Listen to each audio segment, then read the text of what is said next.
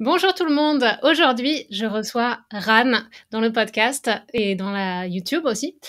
Et euh, c'est une histoire euh, assez euh, insolite ou spontanée, on va dire. Ran a posté un commentaire sur la vidéo de l'interview de Joe Rios et mes épisodes sur l'apprentissage agile. Comment utiliser un processus agile pour apprendre une langue. Et il a dit, c'est exactement ce que j'ai fait. Je suis passé de zéro en français à B2 en un an et j'ai appliqué tous les principes que j'applique au travail du euh, lean process et de l'apprentissage agile.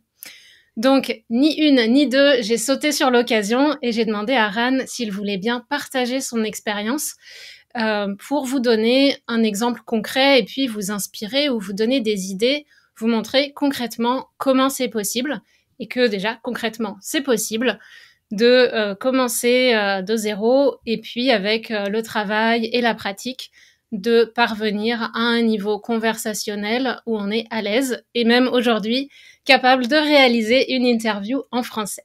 Ran, merci beaucoup d'être ici. Est-ce que tu veux ajouter quelque chose? Non, merci à toi en fait.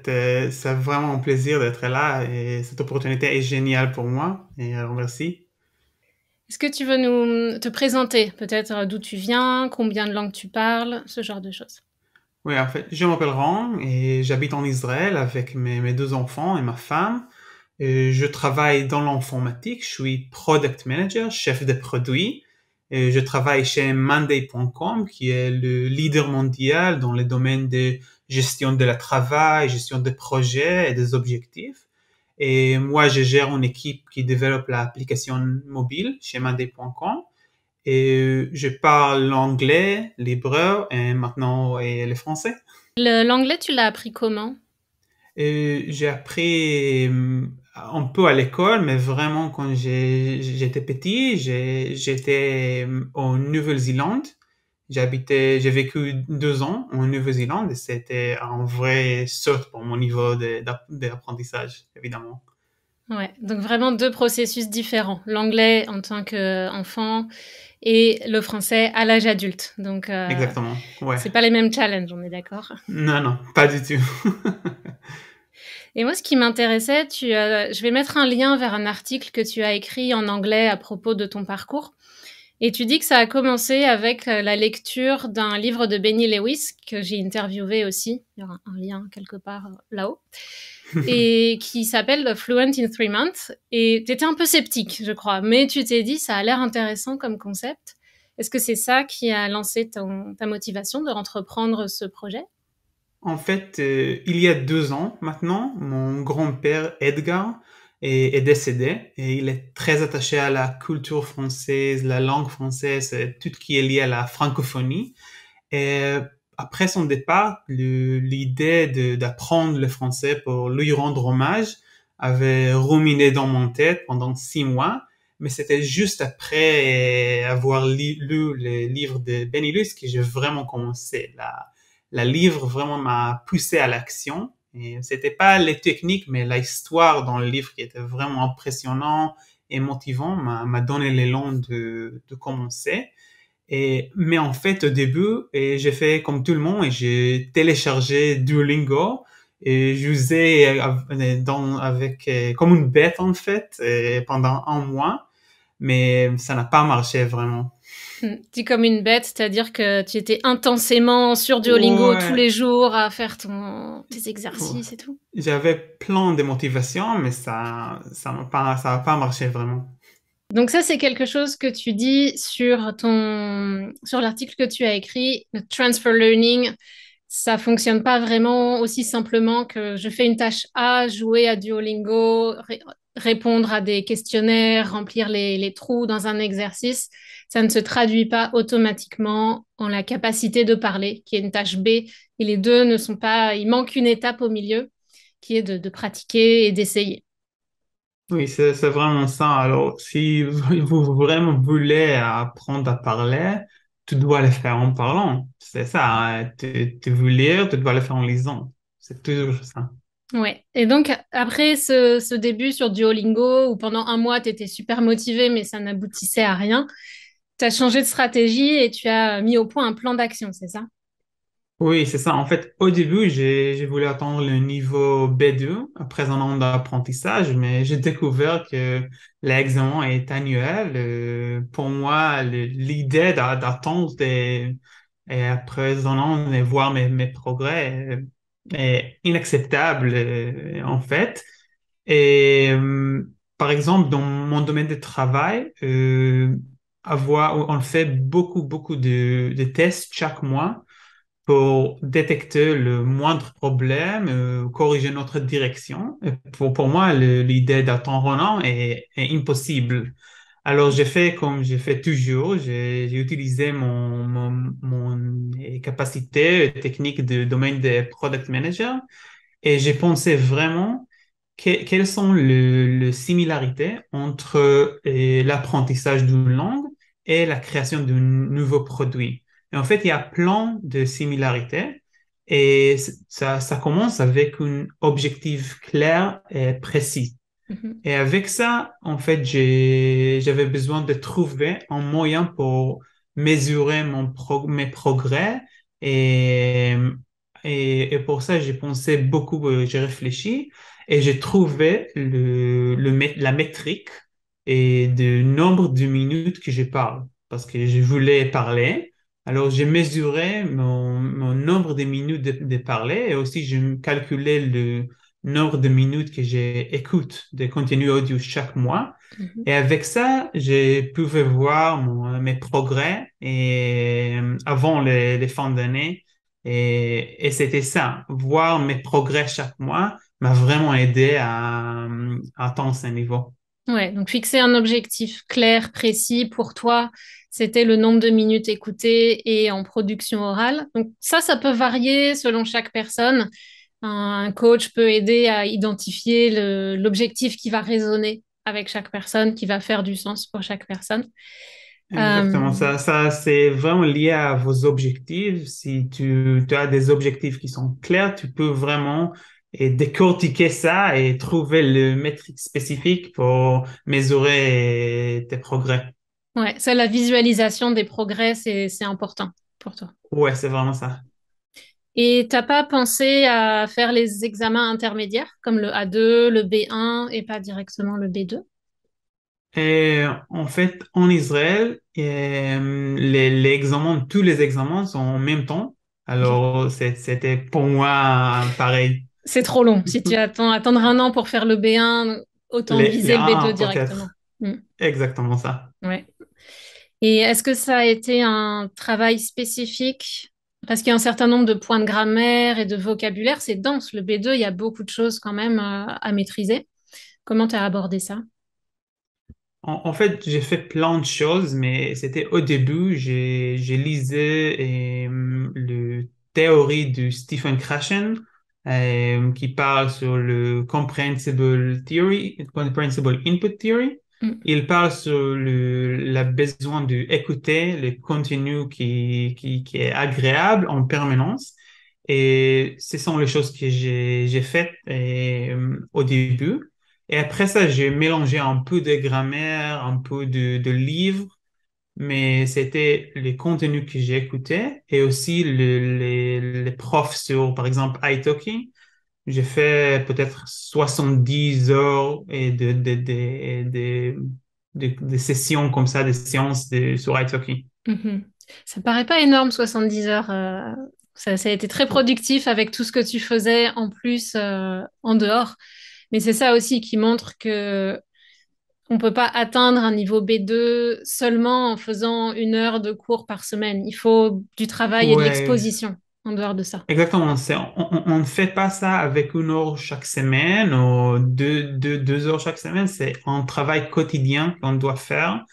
J'ai fait une heure chaque jour, mais c'est pas une heure assis sur la table avec un livre de grammaire. Et par exemple, j'ai un, un travail très exigeant, mais j'ai fait la vaisselle chaque jour et j'ai 40 minutes en voiture chaque jour. Alors ça, c'est, c'est un mine d'or pour, pour l'apprentissage. J'ai écouté votre podcast et aussi plein de podcasts différents. Et, et ça, ça m'a vraiment aidé à améliorer. C'est un travail quotidien qui, quotidien qui est dur. Et si tu n'as pas le temps de, de le faire, soit tu te culpabilises pas, Mhm. soit tu changes, tu changes votre priorité. C'est Mm. ça à mes yeux. Ouais, c'est ça. Soit on veut pas changer son style de vie et l'apprentissage sera plus long. Peut-être qu'on atteindra B2 en deux ans, trois ans, quatre ans.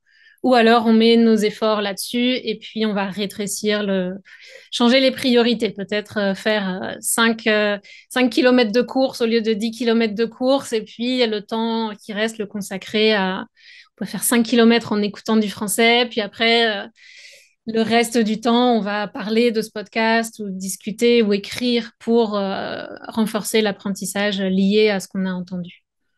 Il y a, énormément de contenu qui est gratuit et qui est Mm. génial pour tous les niveaux différents sur YouTube, sur de différents podcasts. Il y en a plein, en fait. Et c'est un, c'est un choix, un vrai choix que tu dois le faire. Ouais, et le- c'est pour ça que j'ai un programme qui s'appelle euh, Feuille de route pour les étudiants avancés ou intermédiaires avancés, où justement l'objectif, c'est de travailler sur cette étape de planification, de définition des objectifs et de euh, sélection des ressources. Parce qu'il y en a plein, mais il Oui, y en a ça. tellement que parfois on ne sait plus où regarder, on ne sait pas comment faire la sélection. Donc ça, c'est une étape importante de choisir les ressources qui vont nous permettre de, de continuer et de progresser. Ouais, c'est ça. Et est-ce que tu as des applications qui t'ont été particulièrement utiles? Hum, j'ai utilisé plein d'applications différentes. J'ai, essayé pas mal d'applications, mais je pense que c'est pas la bonne. Il n'y a pas la bonne application. C'est, le processus qui est plus important. Si tu fais l'effort quotidien, l'application même est, est pas vraiment important. Et en fait, je pense qu'après avoir défini un objectif et avoir un pourquoi qui est très solide, et je, je, je vraiment recommande de, de découper les grands objectifs en petits morceaux. En fait, Euh, on a quatre capacités clés. On a l'écriture et on, peut écouter, parler, écrire. Et les choses que, les choses que j'ai faites, c'était de découper ça et essayer de faire le, le mission personnelle de 30 jours ou 40 jours avec de différents sujets. Par exemple, lire un roman complet en français mais dans 30, 30 jours. Et j'ai choisi La vérité sur l'affaire Harry Kuber. C'était 850 pages et c'était dur. Mais par exemple, un autre exemple, c'était de participer aux les challenges sur iTalk et j'ai parlé pendant 24 heures et pendant 45 jours et c'était génial pour mon capacité à parler. Et en fait, j'ai fait plein qui a raté. Par exemple, j'ai décidé d'écrire chaque jour pendant 30 jours et j'ai franchement, j'ai pas trouvé la motivation de, de commencer et de, de maintenir le rythme. C'était trop, ennu- trop ennuyant pour moi. Mais le mission personnelle de 30 jours et 60 jours sont géniales pour faire un peu plus. Ok, ouais. Petite pression supplémentaire pour euh, se motiver à faire cette tâche euh, plus oui, difficile. pour moi ça marche. Mais, mais il, il y a, pas mal de gens qui Duolingo marche très très bien pour, pour eux. Mais je pense qu'à la base, par exemple, Duolingo et les applications et donnent, entre guillemets, l'impression que tu t'améliores, mais qu'en fait, tu apprends à traduire mot à mot. Mais Mhm. c'est pas la conversation naturelle qu'on fait sur les podcasts, dans les films. C'est, c'est les conversations, l'échange qui est plus naturel, plus spontané. C'est pas en traduction mot. Ça marche pas. Et, mais je pense que, mais il y a plein de gens qui, qui ça marche pour eux et c'est génial. Mm. Mais c'est vrai que c'est une bonne idée de, de s'éloigner très rapidement de la, la traduction. Donc écouter des podcasts et produire, essayer de parler avec ses propres mots. On a, on a toujours cette possibilité de traduire quand on est un peu bloqué, mais ne pas le faire systématiquement, c'est une bonne habitude à prendre dès le début. Oui, exactement. Et, et c'est plus long de traduire, euh, essaye de, Ouais. de traduire en phrase complète. C'est un- une tâche incroyable pour, pour les apprenants. En même temps que tu dois et, euh, avoir les sons qui sont bons, les l'accent et les, les- tout, en fait, les, les mouvements de corps et aussi dans les conversations. C'est tout ça. Et en plus, traduire les phrases complètes, c'est n'importe quoi. Ça fait beaucoup à gérer et traducteur, c'est un vrai métier. Donc, euh, les gens Oui, étudient ça. pour traduire. Donc, nous, on peut juste euh, faire avec euh, les mots qu'on connaît, les structures de phrases qu'on connaît. Ça, c'était un truc intéressant que tu euh, mentionnais dans ton article au sujet des habitudes, justement, créer des routines, des habitudes et standardiser les choses, automatiser avant de les optimiser et d'améliorer. Et ça, dans la conversation aussi. Donc, tu dis que tu as commencé basique, tout petit, et petit à petit, tu as augmenté sur la base solide que tu avais.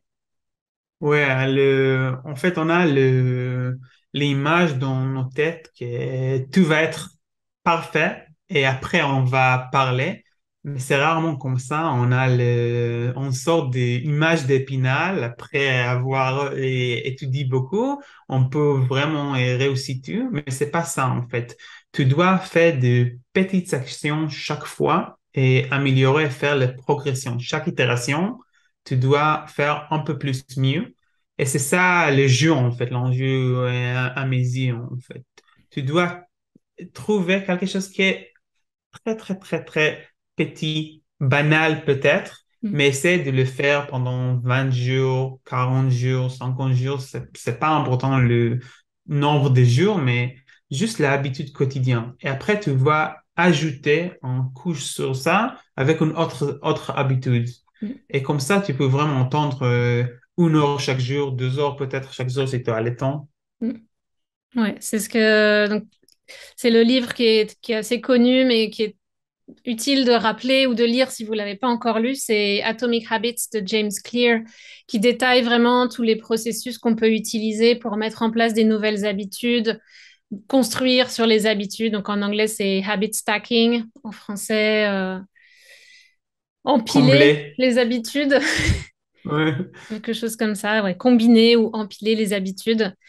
Euh, et, ça marche vraiment bien. Et puis pour les langues, effectivement, l'idée, c'est de mettre le doigt dans l'engrenage, de commencer la machine et de garder la motivation et l'intérêt pour toujours euh, continuer. Ensuite, ce qui était intéressant dans ton article, c'était prioriser les résultats concrets plutôt qu'un type de, tâche. Comme euh, par exemple sur le vocabulaire, c'est mieux d'être capable d'utiliser un certain nombre de mots en contexte plutôt que de dire, d'être super fier de dire je connais mille mots. Je ne saurais pas les mettre dans une phrase, mais je peux les traduire en anglais.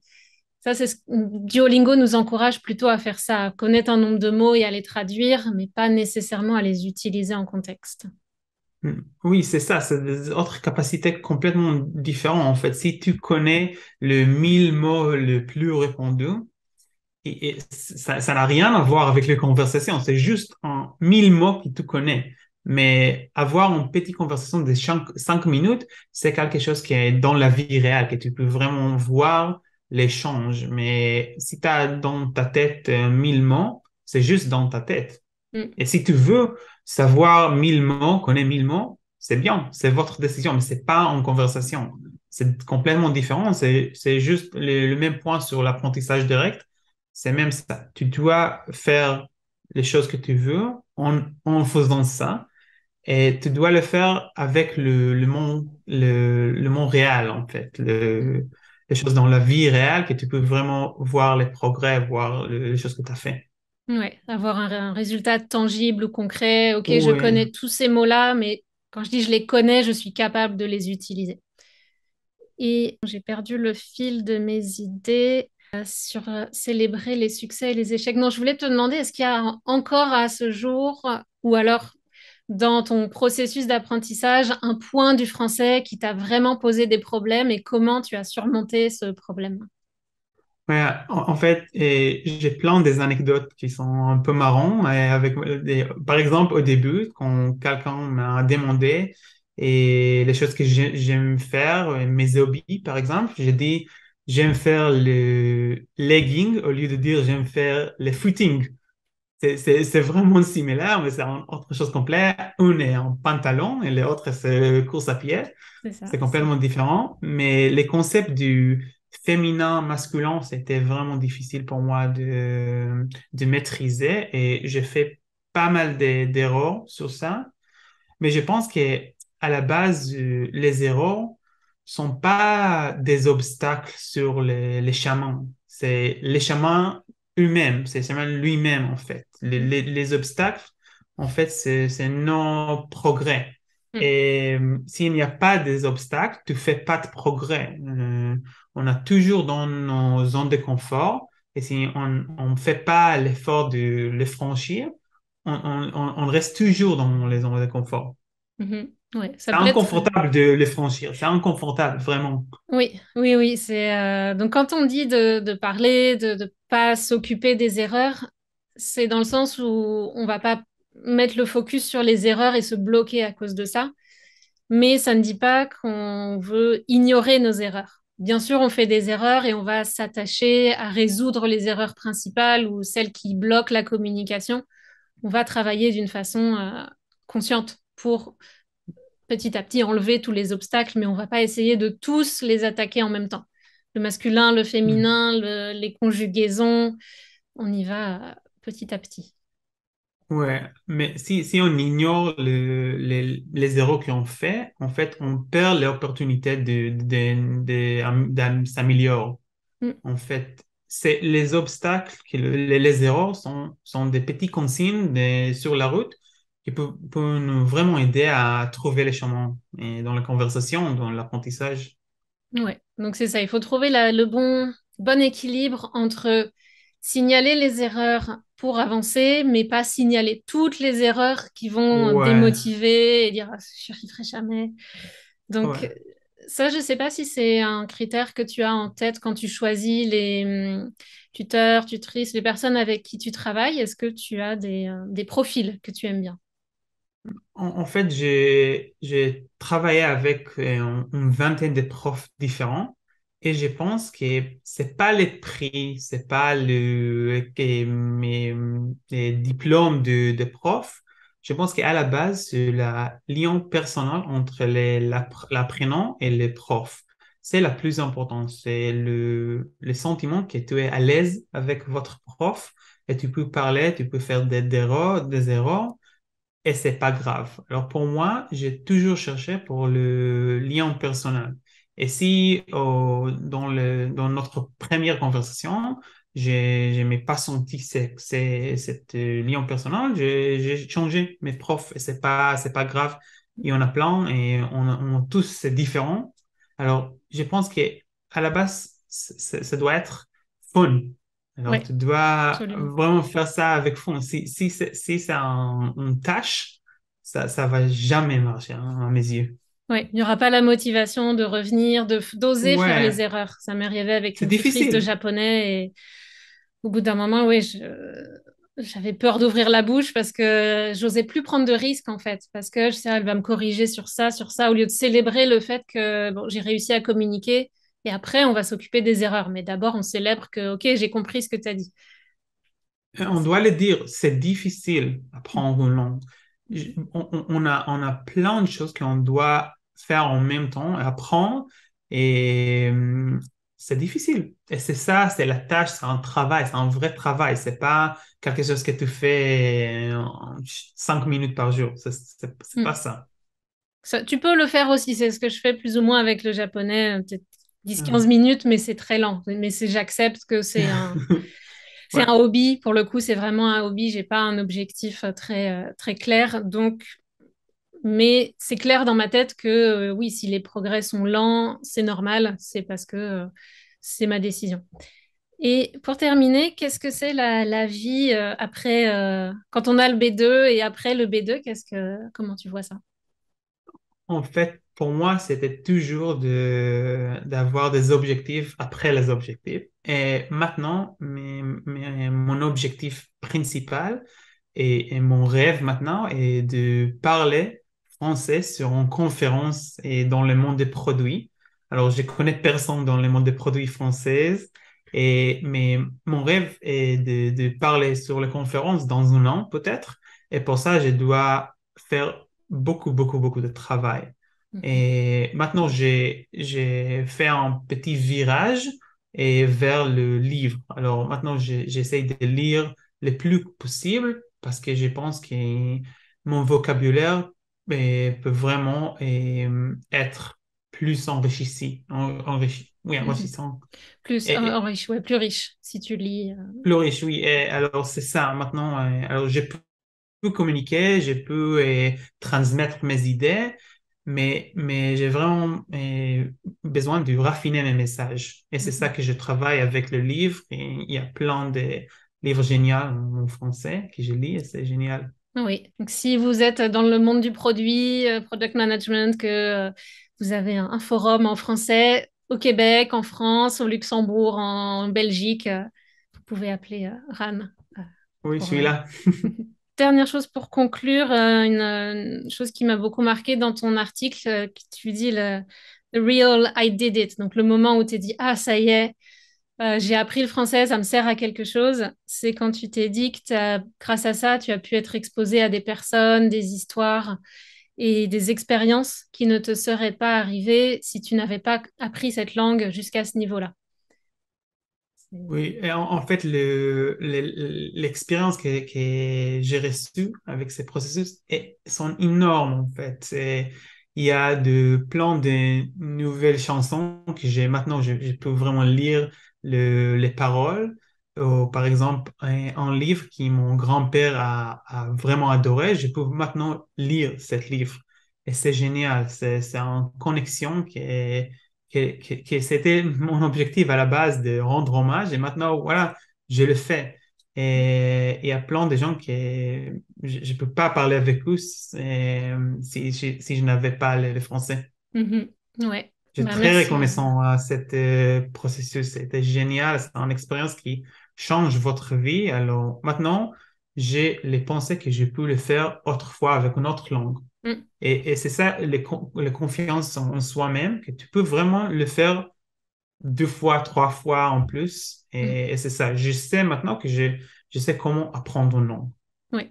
Et tu le transfères dans tous les processus d'apprentissage, euh, la musique, la danse, n'importe quelle compétence, la peinture, c'est les compétences, compétences transférables.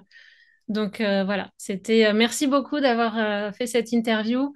J'espère que ça va inspirer toutes les personnes qui regardent cette chaîne, qui se disent oh, j'en ai marre, je sais plus où je vais, j'avance pas, à reconnecter avec la motivation profonde et puis à peut-être s'inspirer des techniques qui, qui fonctionnent ou des, des choses qu'on a proposées pour expérimenter, puis voir ce qui marche le mieux pour vous. Et puis continuez sur votre chemin, lâchez pas l'affaire jusqu'à atteindre cette, ce moment. Euh, ah, ça y est, je sais pourquoi je l'ai fait. Oui, merci de m'avoir accueilli sur votre podcast. J'ai passé un super bon moment. Et pour les auditeurs et les auditrices qui, qui nous écoutent, j'espère que ça vous a plu et ça vous vraiment donne la motivation pour l'avenir. Merci beaucoup. Laissez des petits commentaires pour, pour nous laisser savoir tout ça.